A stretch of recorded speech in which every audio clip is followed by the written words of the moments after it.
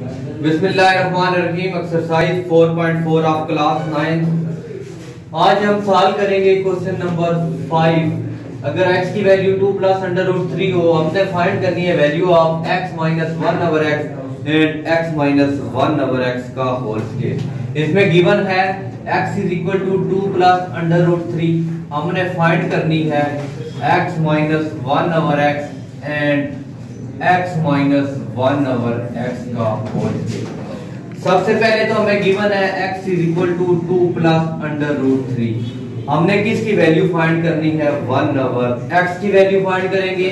One over x is equal to two plus under root three लिखेंगे। तो हम rationalise करेंगे। मल्टीप्लाई प्लस होगा तो बोथ साइड पे हम माइनस करेंगे। अगर प्लस हो रहा है तो बोथ साइड पे माइनस होगा। अगर माइनस हो रहा हो तो बोथ साइड पे प्लस होगा। तो one over x is equal to जब आप two minus under root three को वन से मल्टीप्लाई करेंगे तो ये आ जाएगा। यहाँ पे टू और टू का स्केयर कर देंगे। माइनस अंडर रूट थ्री का स्केयर ये इसे कैंसिल हो जाएगा। अब जो मेरे पास वैल्यू बनी है, वो two minus under root three यहाँ पे हम टू का स्केयर करेंगे फोर आएगा माइनस थ्री फोर में से थ्री अब जब माइनस कर लेंगे तो ये वैल्यू बन जाएगी one over x is equal to two minus under root three four minus three करेंगे तो वन आएगा वन लिखने की ज़रूरत नहीं। अब हमने एक्स और वन अवर एक्स की वैल्यू को माइनस करना है।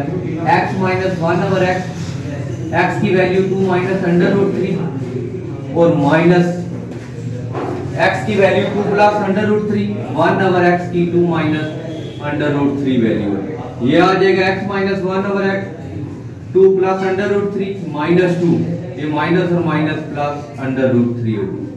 अब इसमें ये है कि प्लस टू और माइनस टू दोनों कैंसिल हो जाएँगे।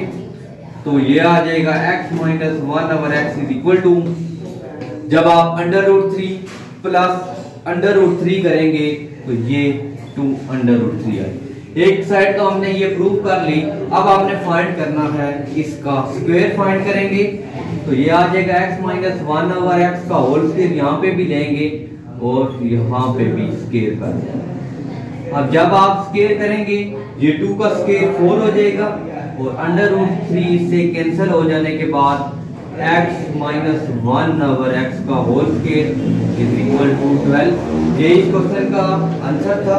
ये अकॉर्डिंग टू स्मार्ट सिलेबस है और ये बोर्ड के हवाले से भी बड़ा इंपॉर्टेंट क्वेश्चन है। तो अगर इसमें से कोई भी समझ नहीं आई, ज़रूर कमेंट्स कीजिए शेयर कीजिए लाइक कीजिए।